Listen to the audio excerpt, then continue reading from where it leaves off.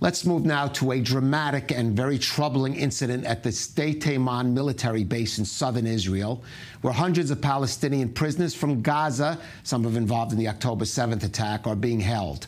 Now, IDF military police today entered the facility to detain for questioning nine reservists serving there following allegations they may have been involved in the abuse, even the sexual abuse, of one of the prisoners.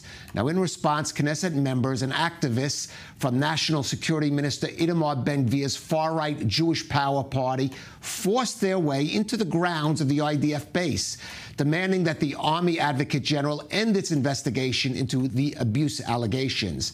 Well, here's what Minister Ben-Gvir had to say, along with one of the activists speaking to i24NEWS there at Sde Teiman today. I call on the Army Advocate General. Take your hands off our reservists. Like it is in the prison service, so it is in the IDF. Our fighters deserves full support. First of all, I was injured at the Sderot gas station on October 7th. We came here because we won't allow the Army Advocate General to arrest our soldiers. Our soldiers protect us with their bodies, and they are getting killed every day in order to protect this nation. And we won't let them be destroyed. And we will fight until all our fighters can return home. We won't compromise. We won't move from here. We've set up tents. We'll sleep here until all our soldiers can go home. Now, in fact, the, all the protesters were um, uh, turned away from the base uh, uh, by uh, police. Uh, uh, took some time, though, apparently. They say no force was used. Now, Prime Minister Netanyahu did release a brief statement condemning the break-in at the base and calling for a calming of the situation on all sides. Defense Minister Yoav Gallant said that, quote, even in moments of anger, the law applies to everyone.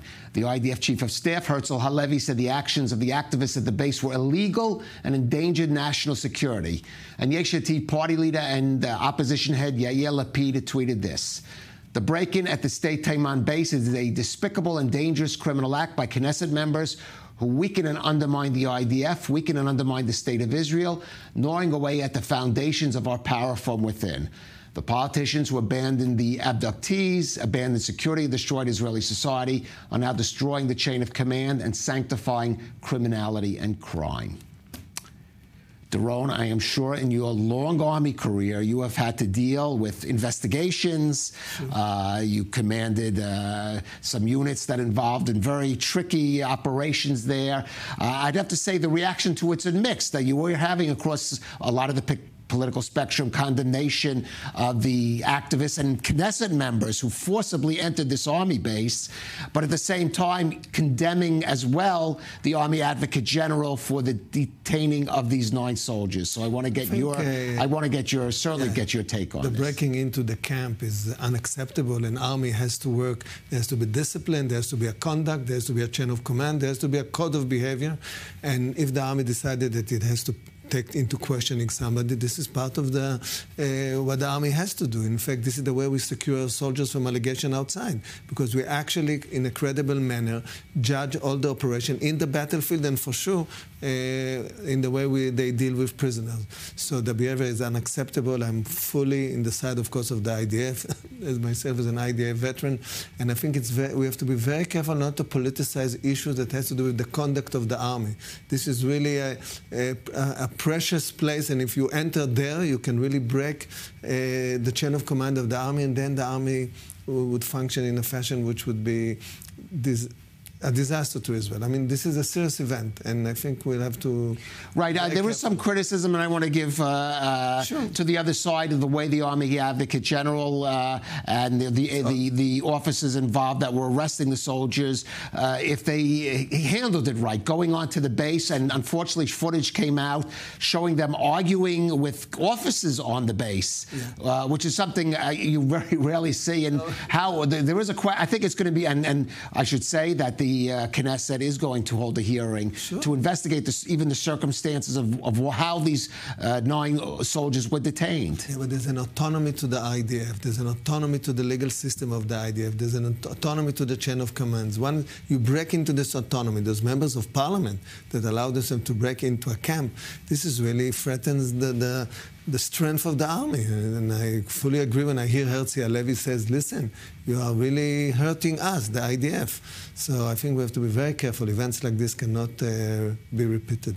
Now, uh, Nicole Sde Teiman is uh, this is not the first controversy involving this, and it has been a target uh, of certainly criticism, both from certainly uh, uh, elements here in Israel and as well as abroad internationally.